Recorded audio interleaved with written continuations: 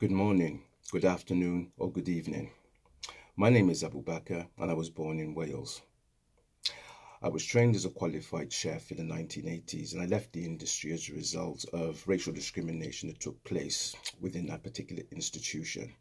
In 1992, I decided to leave that uh, institution and decided to fight against racism within Wales. I'm an educational consultant and I was the first individual to run a Black and African History Studies course at Cardiff University in Black and African History, and that was at a degree level. And I've been working in the educational system for over 30 years. I was also one of the co-founders of the Black History Month Management Committee, in which I won an award in 1980, uh, 2018 and also my contribution in education history. And recently in uh, 2024, I won the Welsh Prestige Award for my company in life coaching, looking at curriculum designs which I've created for educational systems throughout Wales, such as schools, colleges and universities. Now, the reason why I'm putting this video together is to invite people who work in the services, especially youth workers, social workers, assistants, yeah, who work with young people, in joining us on our anti-racist training course, which will take place Tuesday the 19th between 10 and 4 p.m. And we're going to look at the theme, which is looking at what is racism. And we're going to look at the nine institutions in which racism exists. And that's looking at economics, education, entertainment, labor, law, politics, religion, sex and war. And we'll also look at the impact of racism, not just on the individual, but also the perpetrators, and look at the emotional, the psychological, and physical attributes of it, because sometimes that's forgotten. We'll also look at the pervasive elements of racism within society as well.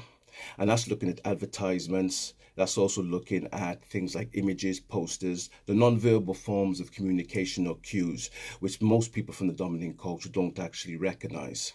So if you really want to do this course, which is a good course, it's the first of a course of its kind, it's an all-day training session, please attend the session. It's been run by ACAP Academy UK, also in conjunction with Urban Circle of Newport and the University of South Wales, which is also in Newport. So please join us for this exclusive training program and engage in the training pack.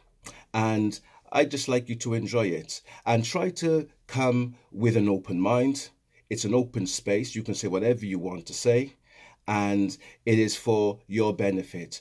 Because what the whole point of this course is to try to align itself with the anti-racist action plan that the Welsh Government wants to establish by 2030. It's something I have worked on.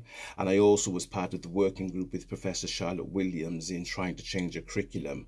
And Wales is heading this. Wales is the only country in the world which has made mandatory Black, Asian and minority ethnic studies within the educational system from 3 to 16. So Wales is pioneering things that no other nation or country is doing. So come down, support Wales, come support myself, come support your work colleagues, but more, more or less, come and support those people who you're left in trust with, those youngsters within the community or those people that you engage with. So if you want to know any more information, just click on the link at the bottom, looking at equality and diversity, and you can sign up to the session, which is this Tuesday. Thank you very much.